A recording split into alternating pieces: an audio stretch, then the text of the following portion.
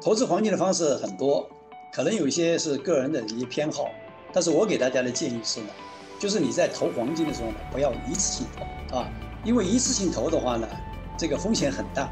如果缺乏专业的指导的话呢，那这样的话，这种投资的方式啊，基本上我们可以把它定义成为赌这样一个概念。那第二个方式呢，我就觉得呢，大家可以用定投的方式。就是按照固定的资金、固定的时间啊、固定的这个买入呃方式呢，就固定去投。那投的方式投进去以后呢，它就是持有。呃，当你想把固定投资的这样一个收益想落袋为安的时候呢，那就确定一个这个收益值，到那个收益值的时候，我就把它卖掉。再三第三一个呢，就是什么呢？是分阶段投，我就进阶式的投。呃，进阶式的投呢，我想呢，它一定要有专业的人去进行指导啊。呃，什么时候投，投多少，呃，这个比例是多少，价格是多少，选择什么样的机会点去进场？我讲的这个分阶段投啊，呃，这个我觉得是一定要在专业的这个人的指导下面去进行的。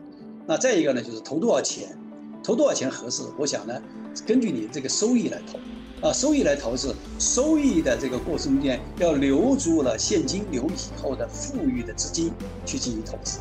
那么我总的呃概念是。